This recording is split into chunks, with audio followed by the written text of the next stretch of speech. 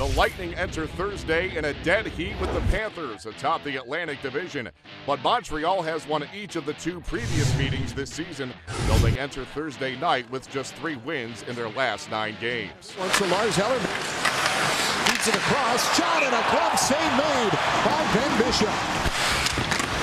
Sven Andrighetto giving chase. He's down. Hey, coming in with a shot. Stop by Bishop. Rebound. Second save as Andrighetto dives to the net and got his hand on the puck trying to throw it back in front, but Bishop ends up with it. Big.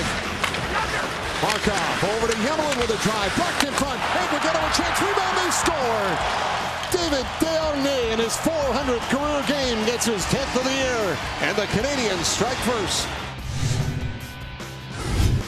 Blake Patterson across for Torrey Mitchell. Mitchell cutting into the goal, scores!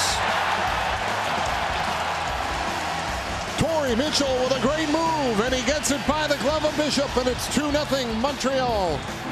And Torrey Mitchell looking like old school Sergei Fedorov right there. A little under the stick move and gets his stick open for a shot. What a finish. Towards for Namestnikov.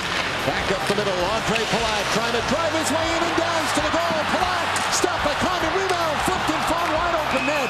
Namestnikov couldn't get to it as Palat drew the penalty, and it's going to be a, is it a penalty shot? He's pointing yes, to center, wow. Shot. And they're on their feet at Amalie Arena in Tampa Bay. Ondrej Palat cutting in on Condon. Stopped by Mike Condon. And he broke his stick on the shot. Now a long feed in from Stamkos. In front, Kucherov. Stopped by Condon. What a great save by Mike Condon. Kucherov tried to open him up and go five-hole, but he closed it up on him. He's back to his feet and he's hurt. Stamkos to Hedman. Back for Stamkos. At the line, Kucherov to Hedman. Fires off the crossbar. Hedman up with it again. Down to Stamkos and it hopped over his stick. They'll go to the bench for the extra attacker.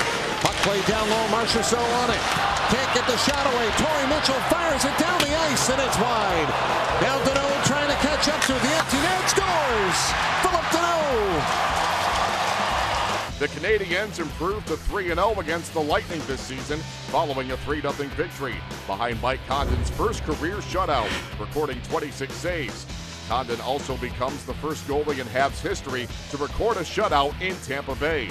The Lightning loss drops them two points back of the Panthers for Atlantic Division supremacy as the Panthers defeated the Devils.